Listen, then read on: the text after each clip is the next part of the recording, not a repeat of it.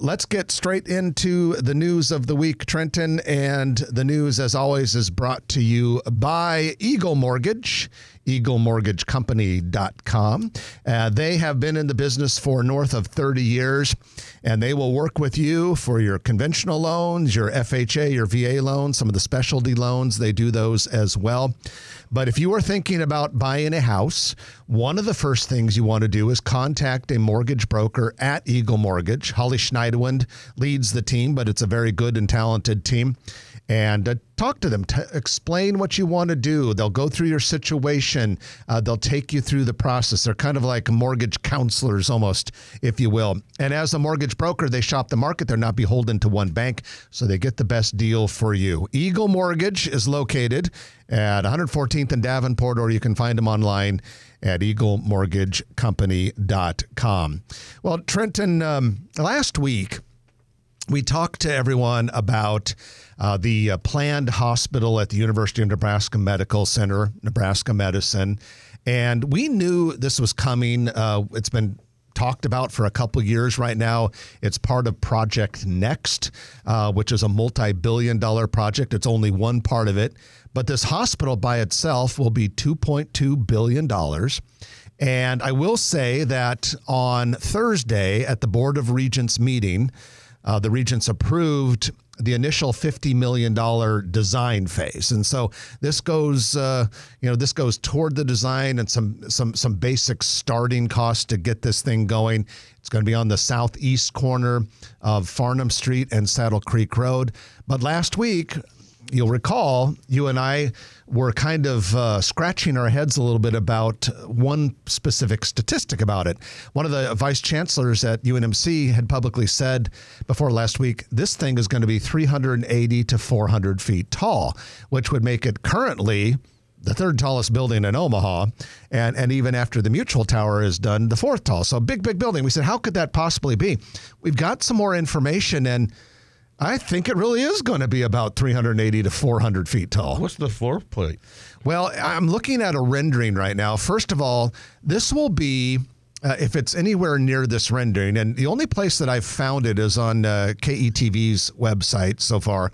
And if, if this rendering ends up being, and, and if you look at it, ladies and gentlemen, it's going to, you know, it's very plain right now. It's just like white, you know, they, they don't really have a lot of detail on it.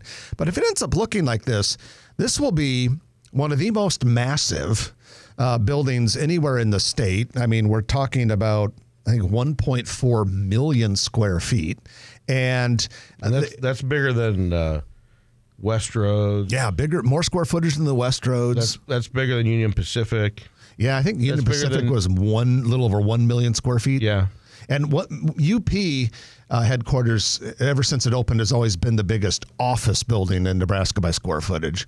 This will be a lot more. Of course, it's not an office building, but when you're looking at the rendering now, uh, you, you may you may be able to picture that area, big grassy area southeast of Farnam and Saddle Creek Road. The Munroe Meyer Institute was there for many, many years. J.P. Lord Elementary School was there for many, many years. Both of those have been completely removed, so it's just a big open grassy area. This rendering basically fills that entire area, which is probably the equivalent of what, three or four city blocks, maybe? And so it's on this huge pedestal. And then the pedestal kind of almost tears up, uh, kind of pyramid like toward the middle. And then on top of that sits what appears to be about another 15 to 18 stories. And they're going to be hospital stories. Uh, hospital stories have to have really high ceilings. So, yeah, basically, you're going to have something that'll be about the height of the state capitol building boom right on the med center campus but more importantly than that uh, it'll do a um, um, huge service to uh, patients in Nebraska and and do a, a, great deal to the economy. So what happens next? They start doing all of the preparation stuff as part of this fifty million dollar approval from the regents. It might not be till after 2030 though before this thing opens. It's going to be a long project. Yeah, I remember in 2.2 billion was a lot of money. Billion here, billion there. Pretty soon you're talking about real money. That was uttered by some Congress member back in the I think late 80s or early 90s. Yeah. And, uh, and now a billion dollars is worth even less. All right, let's uh, get into a couple of our other news items as well. Uh, we announced this week on uh, growomaha.com that Olsson, which is a civil engineering firm, um, is going to be building a four story office building uh, in uh, the Heartwood Preserve area, which is uh, just a little bit southwest. Actually, it's right southwest of 144th and Dodge. Actually, they'll be occupying two floors of it initially, maybe the second and third, and then the fourth, eventually, probably. And then the first floor will be retail as part of the, the Lanoha's uh, developments plan as part of a Heartwood Preserve. What do they call it? The square or something like that? Oh, the the center of Heartwood Preserve. And I don't recall the actual name of that part of it, but Heartwood Preserve itself is a 500 acre development um, that uh, already has quite a bit on it. So the Valmont World headquarters is there. Uh, Union Bank has a very nice office building there. Uh, Carson has a very attractive six story office building there. The new Charleston's the new mahogany. Union Bank. Uh, yeah, Union Bank mentioned that. And then um, Gunderson Jewelry is going to have a flagship store opening there very soon. There's going to be a building that's going to have uh, an upscale cigar bar and restaurant. And lots it. of parks and, and trails. Yeah, so it's a nice area. So this middle part that the Olsson building is going to anchor, I've been told is going to be somewhat similar to Aksarben Village in that it'll be walkable. Like you know, Trent indicated, the the ground floor of this building will be uh, retail, so it kind of create kind of that urban environment. And uh, completion of this new building, which hasn't really even started, will be summer of 2026. So, two year project. If you want to see a picture of it, uh, just go to growomaha.com and go to the uh, news stories, the featured stories section. And there is a rendering of that building on there at this time.